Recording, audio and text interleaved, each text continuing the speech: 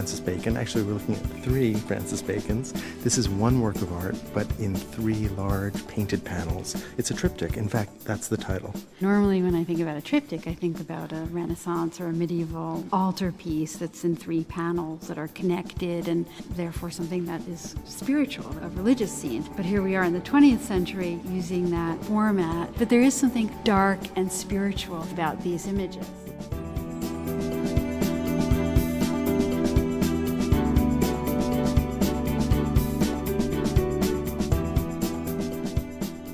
Her fingers turn into branches and leaves. And as he wraps his hand around her abdomen, he touches only the bark that forms around her. I mean, this is all about not attaining beauty and Apollo's passion. Almost having the thing that you want in your hands and having it slip out at that very moment when you attain it.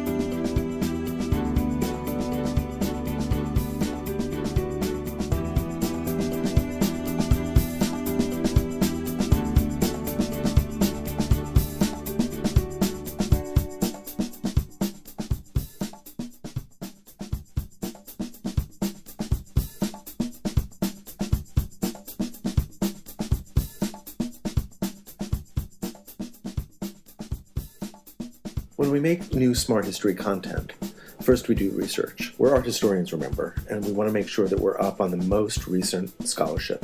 We record a lot of our conversations in New York City's museums because that's where we're located. And then, whenever it's possible, we travel to museums in other countries. We take our own photos when museums allow it, and we try to include as many close ups and details as possible. We use these photographs along with other copyright free images of the artwork that we've discussed. We're there in a museum or a church, surrounded by other visitors, and we get to really look closely at the work of art and let it inspire us. We use a number of different kinds of editing software in order to bring photography, the video, and the audio together to make Smarthistory content. When we finish producing the video, we upload it to our server and to Vimeo, and we create a new page on the Smarthistory website. We spend some time hunting down the best links we can find so that our visitors can continue learning about the works of art we've discussed. We also upload our photos to the Smarthistory Flickr group, and we use other social media networks to distribute our work. Conversation, the soul of education.